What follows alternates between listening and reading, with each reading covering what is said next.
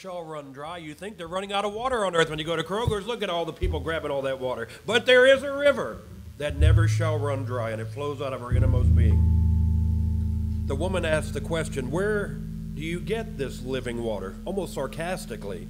This was a sensible, though, and a very important question. And so may the Holy Spirit guide us this morning and make sure we answer it rightly. Where do you get this living water? She asked him. And Jesus Christ told her that if she only knew who she was talking to, she would have asked of him, and he would have given her living water. They were both at Jacob's well. They were both of them close to it and could look over into it and see uh, down into it. There was some water in it, but the well of Sychar was not a well of living water. You probably know that the expression, which is translated living water, refers to water that springs up from a fountain. Now, we walk by all the time and see puddles of water. Never want to drink that, would you? But if you go to a place where it's bubbling up out of the ground, that's living water. We know it's safe to drink that one. And the well at Sychar was not that type of a well. It was a well of groundwater uh, in the, the gatherings of the neighboring hills. Groundwater is water that has seeped through various layers of sediment stored in the ground, but it's not spring water. It is a flat, a stagnant water, not living water at all. So Jesus uses this illustration in speaking with the woman. Basically, he's saying, You have come here to draw this water out of the well, uh, the mere rainwater that has run into uh, Jacob's well. But if you had asked of me, I would have given you water of a far better sort, water with life in it, water which would give life to you, water which would be in you a well of water springing up unto eternal life. The woman got the picture, though she did not at first understand its spiritual meaning. And its spiritual meaning is this that water Jesus refers to is uh, grace that Jesus has grace in himself, grace to give to sinners, grace to give to those who ask him for it. For he said to the woman, If you only knew who I am, there's that I am again. Remember, Moses said, Who shall I say sent me? I am that I am. Here's that I am. If you only knew who it was you were talking to, if you only knew who I am, you would have asked of me, and I would have given you living water in the Lord Jesus Christ, there is this deep fount of grace always springing up within himself. We read elsewhere in Scripture where it says, It pleased the Father that in him, Christ, should all fullness dwell. And so it does. All fullness dwells in Christ. To him, we are told, the Spirit has been given without measure, so there is no meager supply of grace he has an abundance. You might say his cup runneth over, springing up within himself. And this he is desiring to give away.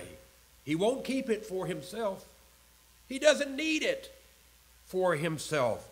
Almighty and ever blessed as he is, by his own nature, co equal and co eternal with the Father and the Spirit, he needs no grace for himself, but he has or what he has, all in him, he's going to give it away.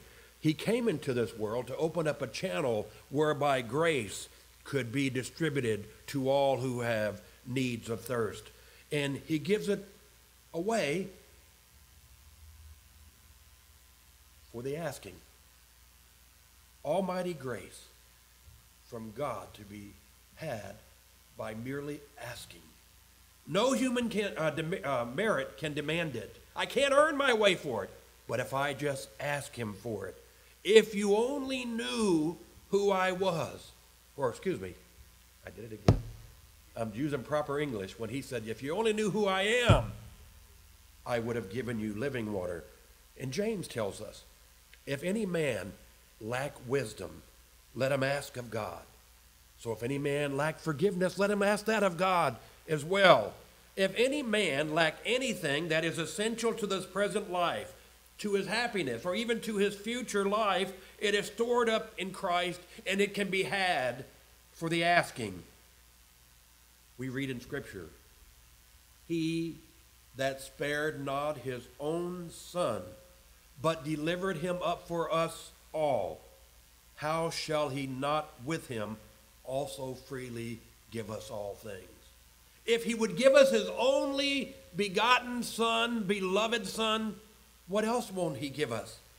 And so the teaching of the text this morning is this If ever you are saved, it must be by the grace of God. That grace is in Jesus Christ. It has been put into Jesus Christ not because he needs it himself, but that he may distribute it. And he does distribute it. And who ask, whoever asks him for it receives it from him. For everyone that asketh receiveth, and he that seeketh findeth, and to he that knocketh shall the door be open. I'm telling you gospel this morning. I'm not making stuff up. He that knocketh, it shall be answered unto him. Did I make that up? You read that too, haven't you?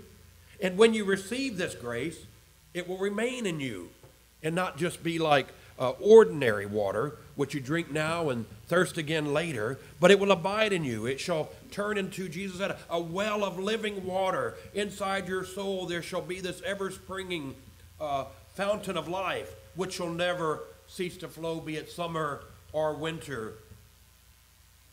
Jesus said this This is life eternal that they might know thee, the only true God, in Jesus Christ, whom thou hast sent.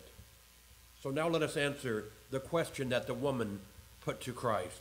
Her question goes something like this Okay, where did you get this living water? How did you come to have it? If you really do have living water, how did you come by it? If it's not in the well, and even if it were down there, it's a deep well and you have nothing to draw it up with. What an important, then, question.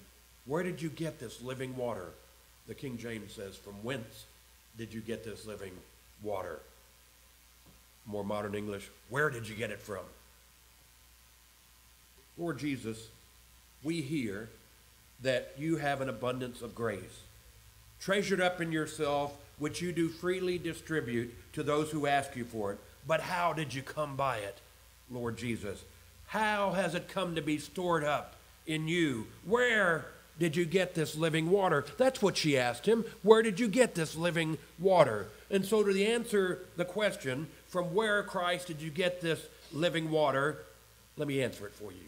He has it in his very nature. Jesus Christ, we are told, is able to save to the uttermost those who come to God by him because he is divine.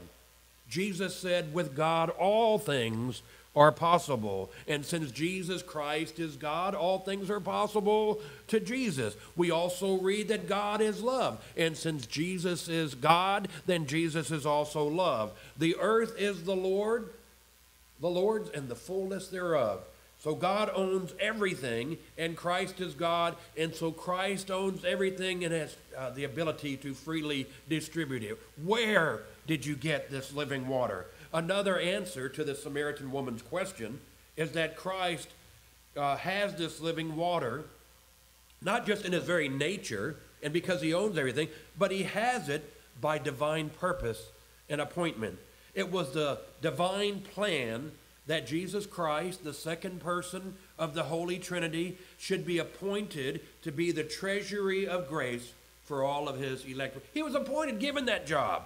In the council chamber of eternity, it was ordained, not that the Holy Spirit, but that the Son of God should, when the fullness of time had come, enter into the world and take upon himself our nature and our self. You remember we read before the foundation of the earth was even laid the lamb was already slain. It was God's eternal purpose before he even made the earth that he was going to have to send his son to redeem those whom he had made. He comes here by divine power, then, and by divine appointment. He's authorized to be the Savior, to bestow upon us the blessing of His grace. Now, let me illustrate this for you. When a tiny little lady police officer, have you ever seen a little small, tiny little, like, how is she going to wrestle that criminal down? Or if she tries to put, how is she? how, how, how can she be a cop? You ever asked yourself that? And, and uh, when, she, when you're coming down the street and you're trying to hit that red light or beat that red light, and that little bitty lady holds up her hand and you come to a screeching halt, we don't stop because that officer has, by her own strength or authority, made us to stop. She has not the wherewithal in her own constitution to stop a 2,000 pound projectile headed straight for her. But it is the authority that has been invested in her in that badge. We stop when she says to, no matter how small she is, because if we don't, the one who sent her will be coming after us to get us. We stop because of who she is representing. If someone from the water company or the gas company come to our door, they bring credentials that, are, that they are duly accredited by the authority which they represent. We want to see their badge, right? No, Pastor, I just let them right on in. Okay, watch the news. Our Lord Jesus Christ comes to men with credentials which prove that he was appointed. I do not my own will, but the will of him who sent me. He was appointed by God to this service before all the worlds were made, and he will be divinely sustained in that appointment until time shall be no more. We don't worry about that lady in the cop uniform, but we worry about that power, that authority behind her that sustains her. Jesus Christ shall be sustained in his duly appointed role until time shall be no more. To me, this is incredibly sweet. For when I trust in Christ to save me, I rejoice to know that he is no amateur Savior who has come on his own authority or on his own whim and at his own bidding. But behold, the Father himself hath sent him. Mighty Jehovah hath sent him, and he is called the Messiah, the anointed one, the sent one, the Christ of God. He is here on a mission from God. God must accept his son, for he sent him into the world for this very purpose. If I bring to God the blood of Jesus as the atonement for my sin, he must accept it, for he himself ordained it as the one acceptable means of reconciliation. We sing in that song. Nothing in my hand I bring, but simply to thy cross I cling.